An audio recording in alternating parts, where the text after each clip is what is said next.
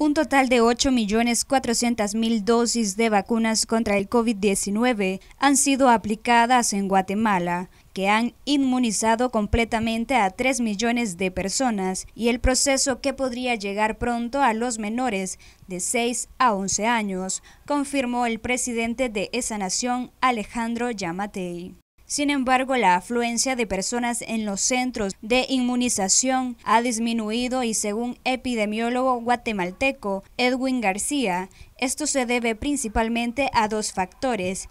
Primero, porque efectivamente ya hay mucha gente que se habrá vacunado y segundo, que la gente que no está a favor de la vacuna definitivamente no van a acudir está faltando al empatarse con los líderes comunitarios para que ellos puedan servir como facilitadores para que la vacuna sea aceptada. De que llega, llega, pero aceptada no ha sido. Recientemente las autoridades del gobierno de Guatemala anunciaron la posible llegada de vacunas chinas Sinovac a través del mecanismo COVAX y meses atrás el canciller de esa nación, Pedro Brolo, dijo que hubo conversaciones con Cuba para adquirir su vacuna Abdalá y Soberana. Cabe destacar que aún no ha sido aprobada por la Organización Mundial de la Salud. Para este miércoles está prevista la llegada a Guatemala de un nuevo lote de 700.000 vacunas rusas Sputnik V para continuar con el proceso de inmunización.